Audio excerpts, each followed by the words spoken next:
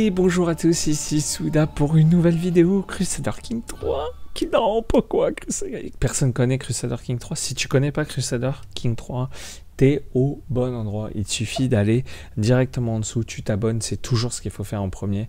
Et ensuite, tu cliques sur mon pseudo et tu vas, tu vas regarder toutes mes vidéos parce qu'il y a des tonnes de vidéos Crusader King 3 avec des explications sur qu'est-ce qui se passe, qu'est-ce qui se passe pas, qu'est-ce qu'il faut faire, pas faire. Et aujourd'hui, je vous donne un conseil de fou, de malade. Mais c'est uniquement pour les abonnés. Alors, tu t'abonnes, tu cliques. Le mec, il spam pour l'abonnement. Vous vous rendez compte quand même, il spam pour l'abonnement. Mais pourquoi pas? Hein? Ok, ce conseil, c'est un conseil débutant mis à personnage. Donc, si tu me suis depuis le début, tu vas dire Putain, mais Souda, tu nous l'as déjà dit en live, tu nous l'as déjà dit sur Discord, parce qu'il y a un Discord, il y a un Discord. Il faut aller sur le Discord, le lien est dans la description. Tu nous rejoins sur Discord, tu as accès au chat CK3 en choisissant ton rôle. Et tu vas avoir des dizaines de conseils, des gens qui t'aident, des gens qui... Voilà, tu as une petite question, même le truc le plus ridicule du monde, sache qu'on l'a déjà pensé, on l'a déjà optimisé et tu peux venir nous passer, nous poser la question. Ok? Ce conseil-là, c'est, euh, comme le titre le dit, avoir la primogéniture sur tous les personnages, quel que soit l'endroit dans le monde où tu es, quelle que soit ta religion et quelles que soient tes règles. Quelles que soient les règles, tu peux avoir la primogéniture à tout moment. Beaucoup d'entre vous y ont pensé grâce à cette technique et je vais vous donner même une technique bonus pour ceux qui iront jusqu'à la fin de la vidéo. Ça va être une technique qui va vous expliquer comment... Euh, en fait, il y a le mode facile. Il y a le mode facile avec cette technique. C'est pour les débutants. Et pour les mecs poussés qui veulent vraiment en chier, euh, vous pouvez aussi avoir la primogéniture avec la deuxième technique. La première technique, c'est simple. Je vous la montre au cas où vous allez créer un personnage. Vous créez un personnage, c'est encore plus simple que si vous ne faites pas la création. On va prendre euh, l'Italie. Qu'est-ce que tu parles, Louis II on va créer un autre personnage, un garçon, et vous allez pouvoir lui mettre tous les traits que vous voulez. Vous vous rappelez, il y a des vidéos, c'est horrible. Tout fait horrible. Qu'est-ce qui se passe?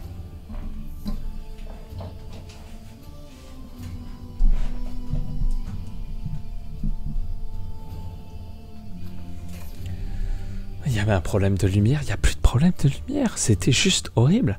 Bon, vous avez créé un perso, il y a une vidéo qui s'appelle les 5 meilleurs persos pour commencer une game.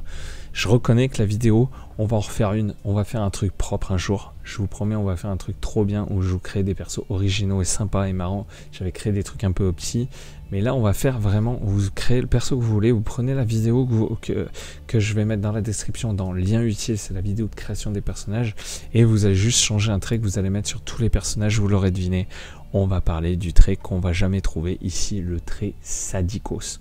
Pourquoi le trait sadique? Le trait sadique, c'est la technique de la primogéniture à tout le monde. Pourquoi? Mais pourquoi Souda? Et eh ben en fait, ce trait-là, il te permet de faire des complots hostiles contre tes propres enfants. Donc tu fais autant d'enfants que tu veux. Si c'est euh, les filles qui vont diriger ton empire, tu assassines toutes les filles sauf celles que tu sélectionnes, celles que tu veux. Mais on va pousser un peu plus loin dans la vidéo pourquoi et quelle fille on va sélectionner et pourquoi on prendrait pas telle ou telle fille et pourquoi on tuerait pas telle ou telle fille. Et pareil, si vous faites des fils, les annonceurs, n'écoutez pas ce que je dis, on tue pas ses enfants. Euh, si vous avez un empire qui se euh, donne de fils en fils, et eh ben vous tuez tous les fils sauf ceux que vous voulez. Ça vous permet de jouer plein de façons différentes. Ça vous permet de jouer séduction, faire plein d'enfants de partout et sélectionner un peu ce que vous voulez. Ça vous permet aussi, euh, d'une manière totalement optimisée, d'avoir un personnage qui est cheaté après vous. En fait, vous êtes cheaté et c'est un peu pas la sélection naturelle, mais on pousse un peu, on pousse, on pousse à chaque dynastie, à chaque mort, votre prochain personnage est encore plus optique que celui d'avant. Je vous montre comment on fait ça directement dans une game. Dans cette game précisément, je vais vous expliquer. La game a été jouée sur Twitch. J'ai commencé en compte et voilà, j'ai grandi, j'ai pris un duché, puis un royaume et puis un empire. Et j'en suis à peu près là. On est en 917, donc petite game, petit empire pour un compte. Et euh, c'est ce personnage, ce personnage que j'avais créé. Donc c'est lui, il avait, il avait 18 ans. Maintenant, il en a 66 et voilà, il était compte, il a réussi à créer ce bout de chemin euh, qui est pas mal, hein, pas dégueu. Et donc la game est disponible sur ma chaîne, euh, ma chaîne secondaire qui est directement dans les commentaires. Vous pouvez y faire un tour et vous pouvez suivre toute la game. Donc c'est un live Twitch. Vous inquiétez pas si des fois je parle. Je parle aux, viewers Twitch. Il y a aussi mon Twitch dans la section où vous pouvez y passer. Et comme vous voyez, les sadiques, je l'ai créé avec Sadik pour la primogéniture pour vous montrer un peu comment ça se passait. Et comme vous voyez, j'ai 8 enfants. Pourquoi? Et eh ben en fait, on, je suis dessous. Hein, on, s'en fout. Ah non, on s'en fout pas parce qu'il y a un enfant là qui est très important. C'est mon premier fils et comme vous voyez, il a été mort dans des circonstances suspectes. Je l'ai moi-même assassiné au moment de la naissance de mon deuxième fils, qui est donc ici. Et en fait, il était intelligent au lieu de vif, et donc je l'ai pris lui. Mais l'optimisation, c'est vous n'assassinez pas directement le deuxième fils qui naît pour pouvoir permettre au premier de garder son pouvoir ou au deuxième. D'ailleurs, d'abord vous étudiez les traits qu'il a. Dans ces traits, lui, on voit qu'il a intelligent et lui, il a vif. Donc forcément, l'enfant qui est vif va mourir. C'est une évidence parce qu'on veut, on veut améliorer son deuxième personnage, on veut améliorer le personnage qu'on va incarner. Donc on prend l'intelligent, mais on va pousser encore. On va pas seulement choisir en fonction de ce trait-là. On va l'éduquer. Qui l'éduque Vous-même. Vous êtes sadique, vous éduquez votre enfant. Ok? Donc ce que vous allez faire, c'est que vous allez cliquer bouton droit dessus, vous savez comment éduquer un enfant, et vous allez avoir le choix au moment de ces trois âges, donc qui apparaîtront à l'écran, vous allez avoir un événement pour le choisir son trait, vous aurez une chance sur trois de pouvoir lui remettre sadique. Une fois que vous avez sadique, le personnage est bon. Ok? Ce personnage-là, le premier qui a sadique, c'est votre personnage. Tous les autres, vous les assassinez. Vous perdez pas de temps au cas où vous avez un accident de cheval, n'importe quoi, que vous tombez euh, dans, les fossés. Il faut que le, votre descendant est sadique pour que la primogéniture continue en fait euh, de, perpétuer se perpétuer dans, la suite de votre vie. Vous donc le premier gamin qui a sadique, donc lui il a eu sadique en premier trait, donc bam, j'ai assassiné tous les autres fils. Et si j'ai un autre fils dans la game, parce que bon j'ai une conjointe un peu plus, un peu plus jeune, donc 46 ans, on va pas peut-être m'en faire, mais voilà, vous pouvez jouer en séduction, aller coucher avec qui vous voulez, faire ce que vous voulez, aucun problème, puisque tous les autres enfants avec ce trait-là, vous pouvez les assassiner. Maintenant qu'on sait comment gérer la primogéniture, vous choisissez le personnage que vous avec euh, vous créez vous faites une création de personnage avec sadique vous élevez votre enfant vous lui donnez sadique s'il n'a pas sadique dans les trois traits à la fin vous l'assassinez. Ce sera pas votre fils. Si vous avez deux fils le premier qui a sadique c'est lui le fils. Vous assassinez tous les autres tous les autres fils. Vous gardez les filles, les marier, les utiliser, et etc. Ou vous pouvez utiliser toutes les techniques de la vidéo, euh, comment éviter un split de son territoire. Voilà, euh, vous connaissez ces techniques hein, pour ne pas avoir d'autres enfants. Mais là, vous avez le sadique, pas besoin de se faire chier. Vous trucidez à droite et à gauche. Le sadique vous permet, bien entendu, d'avoir la primogéniture à tous les étages. Si par exemple, moment un peu crucial, vous jouez, pas de chance, j'allais vous dire ce personnage-là, mais il a lui aussi sadique, dit donc tout le monde est sadique dans la zone. Si vous jouez ce personnage-là et que vous n'avez pas sadique, et ben là, euh, on peut pas changer ses traits. On peut pas changer ces traits-là à lui.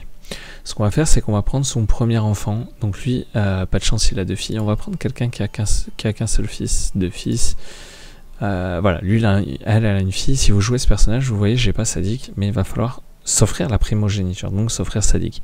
On a deux enfants, euh, c'est une chrétienne slovène, on peut imaginer que c'est primogéniture, je vais pas vérifier pour pas me casser mon exemple, on peut imaginer que c'est primogéniture mâle, donc elle ne va pas hériter. D'ailleurs, on le voit ici, principal héritier, il n'y a que lui. Et lui, cet enfant-là, ce qu'on va faire, c'est qu'on va le faire éduquer, pas par soi cette fois, mais par un personnage sadique. Vous allez inviter à votre cour, ou vous allez l'envoyer dans une cour étrangère, à un personnage qui est sadique, et vous aurez donc là, c'est plus vous qui le décidez, mais vous aurez trois chances. À chaque fois qu'il a un âge, sur trois chances, vous aurez une chance que Sadik pop et que son tuteur lui choisisse Sadik. Et donc c'est comme ça que vous allez choper Sadik. Admettons que ça fonctionne pas. Euh, il a 17 euh, ans, vous n'avez pas d'autres enfants, vous mourrez. Il passe au pouvoir, il n'a pas Sadik. À son premier enfant, vous faites pareil, vous lui donnez un nouveau tuteur Sadik. Le but du jeu, c'est tout le temps le tuteur est sadique jusqu'à que vous, vous ayez sadique, et donc dans ce cas-là, vous pourrez élever vos enfants. C'est la technique de la primogéniture naturelle en jeu, sans cheater, sans tromper le jeu. Ok? Ça, c'est la première chose. Ok? Quand on en est là, même si vous êtes un joueur débutant, vous pourrez parfaitement le faire. Si vous n'arrivez pas à le faire, si vous ne comprenez pas comment le faire, vous popez sur Discord, vous nous posez la question, il n'y a aucun souci. Mais mettre un tuteur, voilà, c'est bouton droit, proposer une tutelle et vous lui donnez un tuteur sadique et ça vous permet de le faire. Ok Ça, ça va être la façon de gérer votre adversaire. Si vous jouez en multijoueur, vous êtes sadique, votre pote, il n'est pas sadique, vous voulez élever son enfant, c'est vous qui l'élevez, il devient sadique. C'est des techniques pour avoir un enfant sadique. C'est la première technique de primogéniture. Si vous êtes un nouveau joueur, ça peut être une idée pour éviter les problèmes de succession, vous n'arrivez pas à gérer les successions. Une game sur deux, un, dirigeant sur deux, vous pouvez utiliser cette technique. C'est parfaitement viable.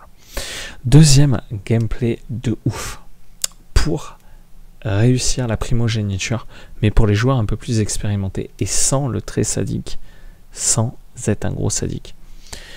Cette fois, vous allez jouer, c'est une technique euh, qu'un viewer m'a donnée, et c'est vrai qu'en fait, je connaissais cette technique, mais je l'avais complètement mis de côté, et je la jouais jamais, je l'ai utilisé qu'une seule fois.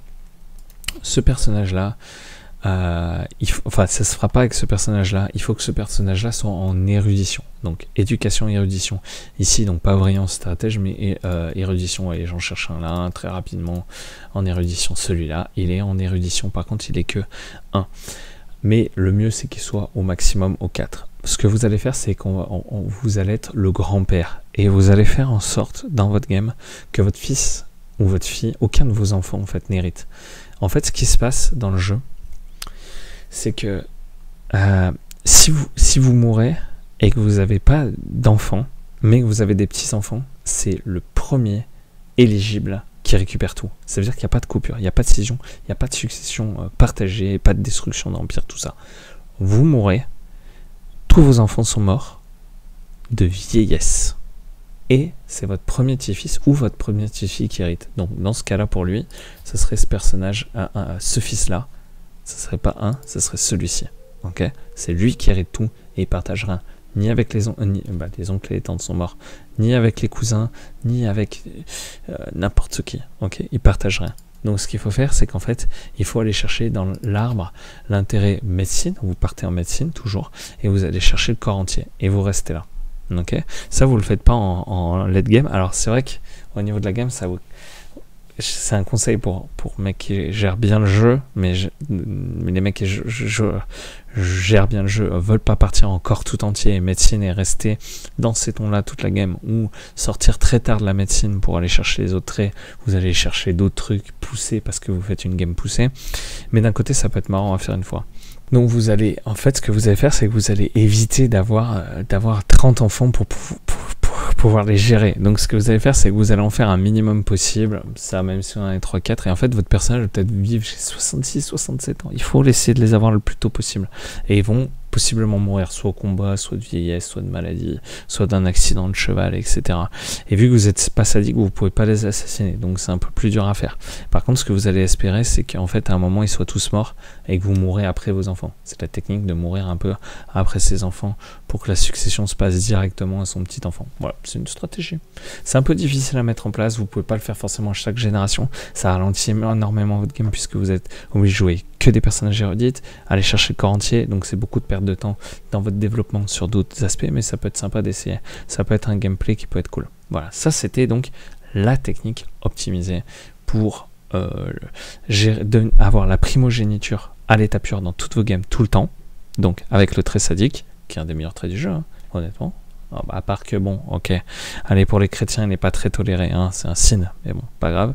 Et ensuite, dans un deuxième temps, un type de gameplay un peu différent, avec attendre la mort de vos enfants pour transmettre directement avec le petit enfant, en poussant un peu ce plaisir-là, en jouant le corps tout entier. Donc vous vous rappelez, hein, dans, les, dans les traits ici, le corps tout entier, avec la médecine, bien entendu. Comme vous voyez là, les experts du jeu vont me balancer des petits trucs en commentaire en me disant Souda, t'as 66 ans, t'es en train de faire le corps entier, t'es en late game, nul. Et moi, je vous dirais que vous avez bien raison. Si vous avez la moindre question, le moindre problème, directement sur le Discord ou dans les commentaires de la vidéo YouTube. Et je vous attends bien entendu pour la prochaine vidéo très prochainement.